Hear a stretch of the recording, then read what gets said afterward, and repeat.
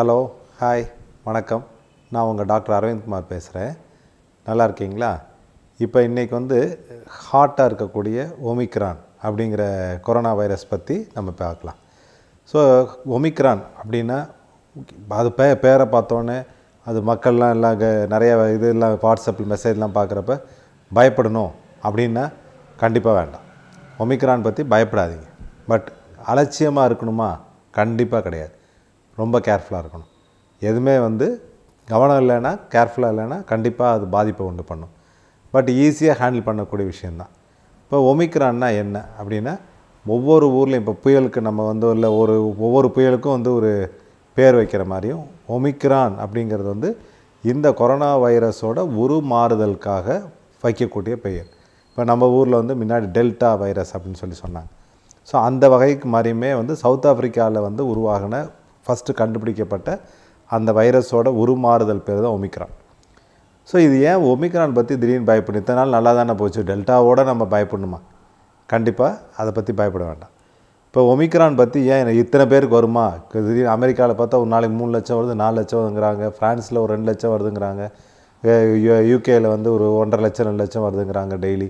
அந்த அளவுக்கு பவர்ஃபுல்லாக அந்த அளவுக்கு பவர்ஃபுல் இது என்ன டிஃப்ரென்ஸ் பழசுக்கு இருக்கும் அப்படின்னா ஒமிக்ரான்கிறது வந்து கொரோனா வைரஸ் மேலே வந்து ஒரு தோல் மாதிரி இருக்கும். அந்த தோலில் வந்து முள்ளு முள்ளாக இருக்கும். ஸ்பைக்ஸ்னு சொல்லுவாங்க.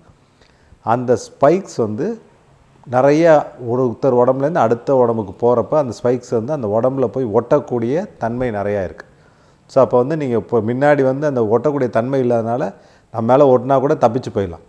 பட் இந்த தடவை ஒட்டுறப்போ ஒட்டிட்டு வெளியே வராது. ஸோ அந்த ஸ்பைக்ஸ் வந்து ஸ்பைக் ப்ரோட்டீன் சொல்லக்கூடியது வந்து நல்ல பவர்ஃபுல்லாக போய் ஒட்டிக்கும்.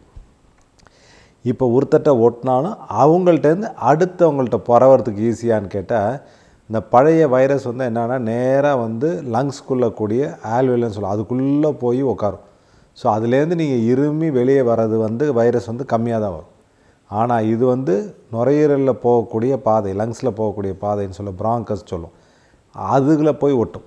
ஸோ அதை மாதிரி அதில் போய் ஒட்டுறப்ப அதுலேருந்து காலனைஸ் பண்ணி அதுலேருந்து வளர்ந்து நீங்கள் சும்மா இருமுனாலே வந்து நம்ம சளியில் எச்சு தெ- தெறிக்கிற மாதிரி இருக்கப்பயே வந்து அது வந்து வேகமாக பரவும். ஸோ அப்போ ஒருத்தர்கிட்டேருந்து இன்னொருத்தருக்கு வேகமாக அடுத்தடுத்து அடுத்தது வேகமாக பரவும். அதாவது ஒரு நாள்லேயே வந்து ஒருத்தராலே ரெண்டு மூணு பேருக்கு கொடுக்கக்கூடிய அளவுக்கு பவர்ஃபுல் போன வைரஸ்லாம் அவ்வளோ கிடையாது.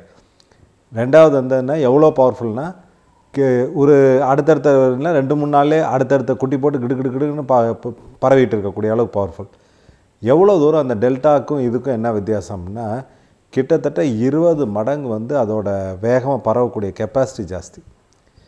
இதனால கண்டிப்பாக பயப்படணுமா அப்படின்னா பயப்படாது கடவுள் வந்து ஒரு பக்கம் பரவக்கூடிய கெப்பாசிட்டி கொடுத்தாலும் இன்னொரு பக்கம் வந்து அதோட தீவிரத்தை குறைச்சிட்டார் வீரியத்தை குறைச்சிட்டார். ஸோ வீரியத்தை குறைச்சிருக்கார் அப்படின்னா நம்ம இப்போ கிடைக்கக்கூடிய டேட்டா பிரகாரம் இன்னும் முழுமையாக கிடைக்கலனாலும் கிடைக்கக்கூடிய டேட்டா பிரகாரம் இது வந்து லங்ஸ்க்குள்ளே போய் பாதிக்காதனால அந்த ஹைப்பாக்சியன் சொல்லுவோம். ஆக்சிஜன் குறைஞ்சி இப்போ எல்லோரும் இந்த பல்ஸ் ஆக்சிமீட்டர் வச்சு பார்த்தீங்கல்ல அந்த மாதிரி பார்க்கக்கூடிய விஷயங்கள் வந்து கம்மியாக இருக்குது அதான் அந்த ஹைபாக்சியா லங்ஸை பாதித்து ஆக்சிஜன் அளவு குறையிறது அது கம்மியாக இருக்குது வெறும் நம்ம சாதாரணமாக இருக்கக்கூடிய சீசனில் வரக்கூடிய இருமல் சளி ஃப்ளூ காய்ச்சல்னு சொல்லுவாங்கள்ல அதை மாதிரி தான் வருது பெரும்பாலானவங்க. ஸோ அதனால தான் வந்து பயப்பட வேண்டாம் பட் அலட்சியமாக இருக்க முடியாது.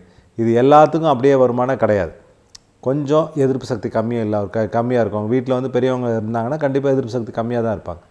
இப்போ சர்க்கரை கண்ட்ரோல் இல்லாமல் இருக்குன்னா எதிர்ப்பு சக்தி கம்மியாக இருப்பாங்க. இப்போ ஹார்ட் வீக்காக இருக்க கிட்னி வீக்காக இருக்கவங்களாம் அவங்க எதிர்ப்பு சக்தி கம்மியாக இருப்பாங்க. பேசிக்கலி அவங்கள மாதிரி கேரக்டருக்குலாம் வந்து அவங்க வீட்டில் ஒருத்தர் இருந்தாங்கன்னா அவங்கள்ட்ட யாராவது ஒருத்தர் ஹெல்த்தியாக இருக்கவங்க போய் அவங்கள்ட்ட கொடுத்தீங்கன்னா அவங்களுக்கு உயிர் காப்பத்து வரும் ஸோ அதனால் நம்ம எல்லாத்துக்கும் வராமல் தடுக்கிறது தான் நல்லது. ஸோ இப்போ ஒமிக்ரான் பற்றி பார்த்தோம். பெரிய வியாதியாக வரப்போகிறது கிடையாது. சாதாரண வியாதியாக இருக்கும். இது ஒருவேளை இது மாதிரி பரவுறப்ப இது எல்லாத்துக்கும் ஒரு வந்து அதோட பேண்டமிக் சொல்ல அதையே நிறுத்திட்டு இப்போ சாதா சளி காய்ச்சல் மாதிரி உருவாகி அது அப்படியே நிறுத்திடுமோ அப்படிங்கிற ஒரு நல்ல ஒரு செய்தியும் இருக்குது பட் நம்ம வெயிட் பண்ணி பார்க்கணும். ஸோ இந்த ஒமிக்ரான் வந்து நமக்கு வந்திருக்கு அப்படின்னா நம்ம வந்து எப்பயும் போல தான் மற்றவங்க பரவக்கூடாதுங்கிறது தான் நம்மளோட முதல் எய்ம் நம்மளை பாதுகாக்கிறது ரெண்டாவது எய்ம் ஸோ நம்மளை பாதுகாக்கிறதுக்கு மாஸ்க் போடுறது தான் ஒரே ட்ரீட்மெண்ட் மற்ற ட்ரீட்மெண்ட் எல்லாம் எல்லாமே க ரெண்டாவது மூணாவது தான் மாஸ்க் போடுங்க மாஸ்க் போடுங்க மாஸ்க் போடுங்க. இன்னொரு நபரிடம் பேசும்போது வெளியில் பர்சனலாக பார்க்க இப்போ தெரியாத நபர் அவருக்கு இருக்குமோங்கிற ஒரு எண்ணத்தோட மாஸ்க் போட்டுட்டு இருக்கிறது தான் அடுத்த மூணு மாதம் ஸ்ட்ரிக்டான இது. பப்ளிக் பிளேஸில் காமன் பிளேஸில் போய் இருக்கப்ப நீங்கள் கொஞ்சம் கேர்ஃபுல்லாக இருக்கணும். போகாமல் இருப்பது நல்லது. ஒரு சினிமா தேட்டரோ இல்லை ஹோட்டலோ போயிட்டு அடுத்த மூணு மாதத்துக்கு நீங்கள் வெளியே போகாமல் இருப்பது தான் நல்லது. அங்கேருந்து தான் வேகமாக பரவக்கூடிய வாய்ப்புகள் இருக்குது முன்னாடி சொன்ன மாதிரி தான் உங்களுக்கு இல்லைனாலும் உங்கள் வீட்டில் உள்ள ஒரு நபருக்கு அது பு- ஆபத்து உண்டுபடுத்தலாம் ஸோ அலட்சியமாக இருக்காதீங்க. மாஸ்க் போட்டு ஹேண்ட் வாஷ் பண்ணிவிட்டு அதில் இருக்கக்கூடிய கிருமி நம்மள்கிட்ட பரவாமல் இருக்க அளவுக்கு சானிடைஸ் பண்ணிகிட்டே இருந்தீங்கன்னா பெரும்பாலான சமயத்தில் இந்த வைரஸ்லேருந்து வராமல் பாதுகாக்கலாம். ஸோ இதுக்கு வந்து நான் வேக்சின்லாம் போட்டால் எனக்கு வரக்கூடாதா? அப்படின்னா கண்டிப்பாக வேக்சினை தாண்டி பிரேக் பண்ணி வருதுங்கிறது தெரிஞ்சு போச்சு. ஏன்னா இப்போ யூஎஸ்லேயோ இல்லை யூ லண்டன்லேயோ இல்லாட்டி ஃப்ரான்ஸ்லேயோ பார்த்தீங்கன்னா பெரும்பாலானவங்க வேக்சின் போட்டாங்க.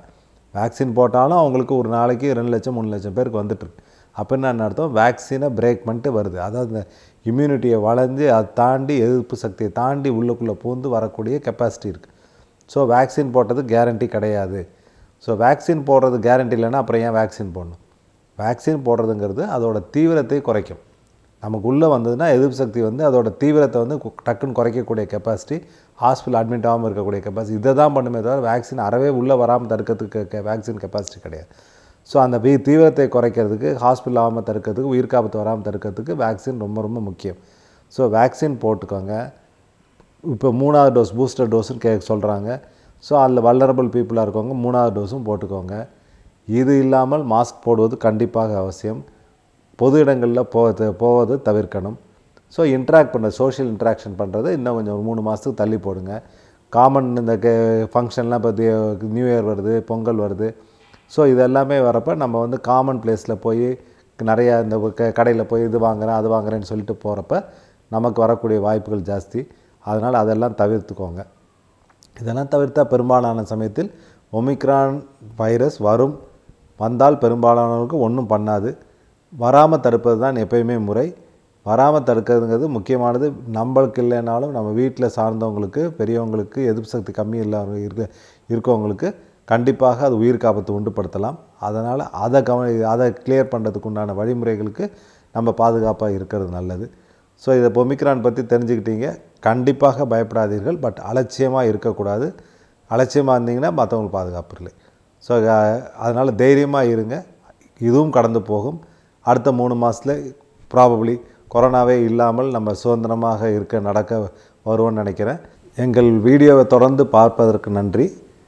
இந்த வீடியோவை கண்டிப்பாக சப்ஸ்கிரைப் பண்ணுங்கள் இந்த எங்கள் சேனலை மிஸ்டர் அண்ட் மிஸ்ஸஸ் டாக்டர் சேனலை சப்ஸ்கிரைப் பண்ணுங்கள் நீங்கள் உங்களுக்கு நோட்டிஃபிகேஷன் வேணும்னா பெல் பட்டனை ப்ரெஸ் பண்ணிங்கன்னா நோட்டிஃபிகேஷன் வரும். ஸோ நாங்கள் வார வாரம் வந்து மெயின் வீடியோ அனுப்புகிறோம் ப்ளஸ் ஒரு ஷார்ட் நோ ஷார்ட் வீடியோஸும் அனுப்புகிறோம் ஸோ அது வந்து நீங்கள் பார்த்து உங்களோட ஹெல்த் சம்மந்தப்பட்ட சந்தேகங்கள் இருந்தால் அதில் நிவர்த்தி பண்ணிக்கலாம். நீங்களும் அதில் ஏதாவது கமெண்ட் எழுதினீங்கன்னா அந்த உண்டான கமெண்ட்டையும் நாங்கள் ஆன்சர் பண்ண போகிறோம் நன்றி வணக்கம்.